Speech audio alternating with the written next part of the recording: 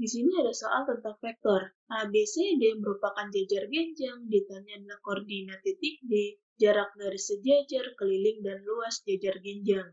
Koordinat titik A, B, C saya gambarkan seperti ini untuk mencari titik D. Caranya adalah dengan menggunakan konsep titik tengah dari garis. Di sini ingat diagonal AD dan BD dia memotong di titik tengah O. Titik tengah O memiliki koordinat x0, y0, berarti bisa kita tuliskan seperti ini rumusnya. Tapi fokus kita di sini adalah mencari nilai koordinat D. Berarti kita butuh adalah XD dan YD. Berarti di sini kita tahu adalah nilai dari koordinat A, B, C. Berarti kita bisa memakai rumus ini. Di sini perduanya bisa kita hilangkan karena pasti habis nanti.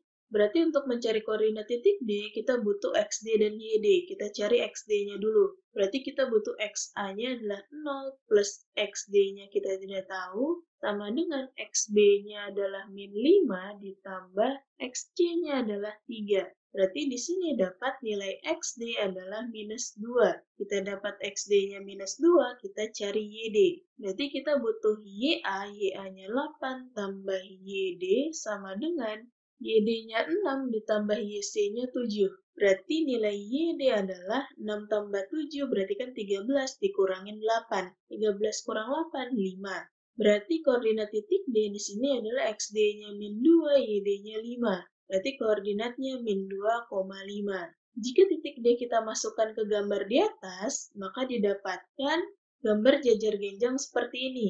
Soal kedua, kita ditanya adalah jarak garis-garis yang sejajar. Di sini kita lihat CD itu sejajar dengan AB. Jarak antara CD dan AB itu adalah garis tinggi. Jadi sebenarnya tujuan kita mencari garis tinggi di sini. Untuk mencari garis tinggi, kita ingat proyeksi vektor. Vektor BD kita proyeksikan terhadap garis BA itu didapatkan garis tingginya. Misalkan vektor BD saya umpamakan adalah vektor A dan BA itu adalah vektor B. Berarti untuk mendapatkan jarak dua buah garis jajar atau nilai tinggi, kita memakai ini. Di sini tadi kan A adalah BD, berarti D dikurangin B. Sama dengan D-nya tadi koordinatnya adalah min 2,5.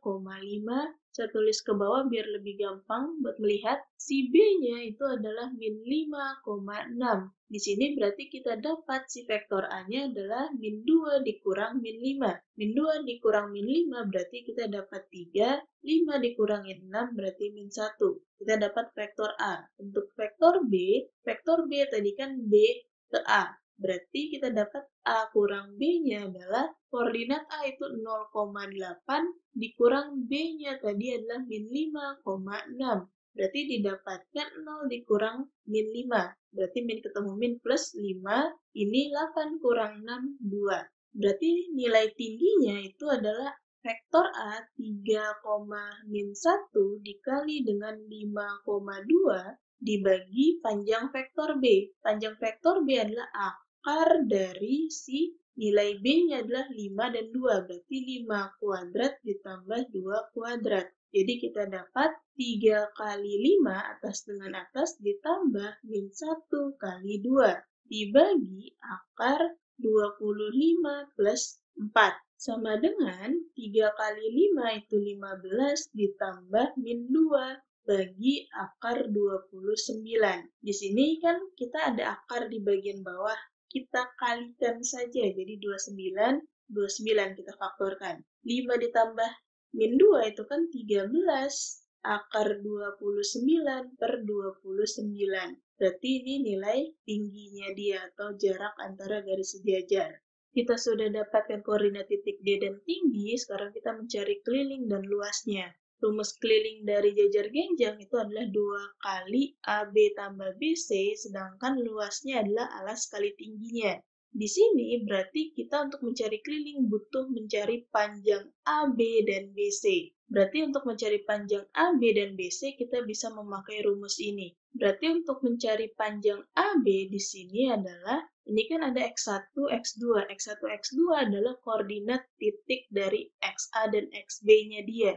Jadi di sini misalkan X1-nya adalah si XA ya. Berarti XA-nya itu adalah 0 kurang si B-nya itu adalah min 5 tutup kurung kuadrat ditambah Y1-nya tadi kan sama seperti XA berarti 8 dikurang Y1-nya adalah 6 kuadrat. Berarti didapatkan panjang dari AB itu adalah akar 5 kuadrat tambah 2 kuadrat. 5 kuadrat 25 tambah 4 berarti akar 29. Sedangkan di sini untuk mencari BC juga sama, Berarti di sini kita mengambilnya adalah koordinat B dan C-nya. Misal X1 adalah koordinat titik B, berarti itu adalah min 5 dikurang X2-nya adalah min 2 kuadrat ditambah Y1-nya itu 6 dikurang 5 kuadrat. Jadi didapatkan akar min 5 ditambah 2 itu min 3 kuadrat ditambah 1 kuadrat. Min 3 kuadrat itu 9 ditambah 1 kuadrat 1 berarti akar 10. Berarti nanti keliling dari si jajar genjang adalah 2 dikali AB-nya panjangnya 29 ditambah BC panjangnya adalah akar 10. Berarti ini untuk kelilingnya dia. Sedangkan untuk mencari luas, itu alas kali tinggi. Di sini tingginya itu kan dari sini sampai ke sini. Berarti alasnya itu adalah panjang si AB. Berarti alasnya itu AB dikalikan dengan tingginya. AB-nya tadi adalah akar 29 dikali tinggi itu adalah 13 akar 29 per 29. Di sini berarti 13 akar 29 kali akar 29, 29 per 29. Ini habis, jadi dapat adalah 13. Sampai jumpa pada pertanyaan berikutnya.